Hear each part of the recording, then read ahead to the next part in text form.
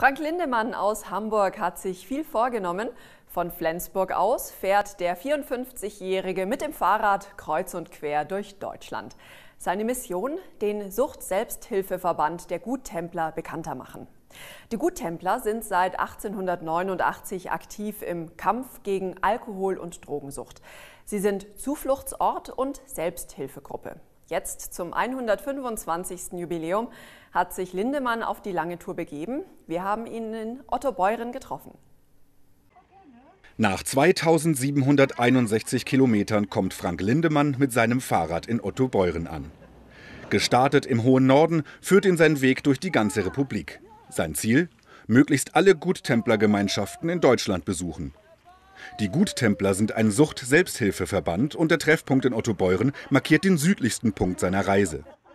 Der Grund seiner Deutschlandfahrt ist ein besonderer Termin im Kalender aller Guttemplergemeinschaften in der Bundesrepublik. Die Tour haben wir am 23. März gestartet, aus Anlass des 125-jährigen Jubiläums der Guttempler in Deutschland. Und die Bewegung ist in Dänemark, nach, in Dänemark gestartet und dann nach Deutschland gekommen. Die erste Gruppe wurde 1889 in Flensburg gegründet und darum haben wir unsere Tour auch dort begonnen. Und sie soll eigentlich alle Guttempler im Lande miteinander verbinden in diesem Jubiläumsjahr, damit die alle da ein bisschen was von der Feier haben. Frank Lindemann erzählt von seiner Reise durch Deutschland, auf der er viele Guttemplergruppen besucht hat. Die Otto-Beurer-Gemeinschaft wird geleitet von Brigitte Schorer. Sie ist von Anfang an dabei und überzeugt vom Konzept der Guttempler. Denn in einem Punkt unterscheidet sich das gewaltig von dem anderer Gruppen, wie zum Beispiel den anonymen Alkoholikern. Dass wir nicht anonym sind. Wir gehen in die Öffentlichkeit. Ich stehe dazu. An meinem Arbeitsplatz überall weiß jeder, dass ich alkoholfrei lebe und auch weshalb. Denn ich, für mich ist der Sinn der Sache, dass ich zu dem, was ich tue und was hier passiert und was wir machen und auch wer getrunken hat, ich sage mir immer, wer denkt, das verheimlichen zu müssen, der ist noch nass im Kopf. Der hat einfach nicht begriffen, worum es geht. Es geht vor allem darum, sich mit anderen Betroffenen auszutauschen. Und da sind nicht nur die Alkoholkranken selber, sondern auch deren Familienangehörige willkommen. Denn die haben unterm Strich nicht weniger unter der Sucht zu leiden. Ja, die Suchtkranken glauben ja, dass irgendwie äh, ihre Kinder von diesem Geschehen nichts mitbekommen hätten. Das ist genau der Gegenteil, das Gegenteil der Fall. Äh, Kinder spüren alle Spannungen im Familiensystem. Kinder übernehmen auch ganz oft äh, Rollen, die eigentlich die Eltern ausfüllen sollten, werden viel zu früh erwachsen, können nicht mehr Kind sein. Und ganz viel verfestigt sich in der Kindheit, das dann auch dazu beiträgt, dass Kinder dann diese Rolle später mit der eigenen Partnerin oder mit dem Partner nochmal nacherleben.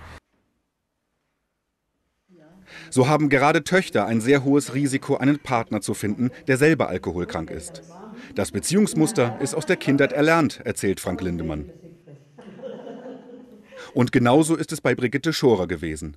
Nach einer Kindheit mit einem alkoholkranken Vater heiratete sie einen trinkenden Mann. Sie ist selber nicht süchtig, lebt aber abstinent. Genau wie Frank Lindemann. Darüber reden. Das ist für beide der Weg gegen eine Krankheit, für die es keine Heilung gibt.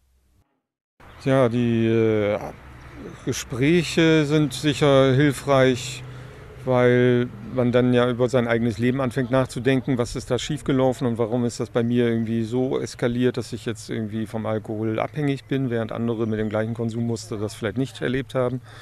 Und da sind die Gespräche natürlich sehr hilfreich, wenn man dann irgendwie ins eigene Denken kommt. Manchmal sagt man einfach, auch beim Arbeiten war es jetzt einfach mal ganz schlecht und dann schlucke ich das runter. Ne? Das ist ja so oft.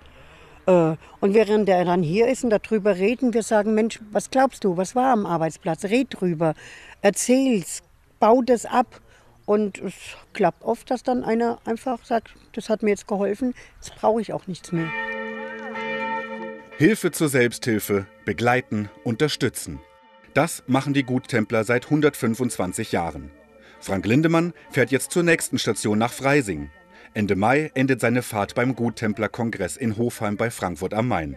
Bis dahin hat Frank Lindemann noch 1072 Kilometer vor sich.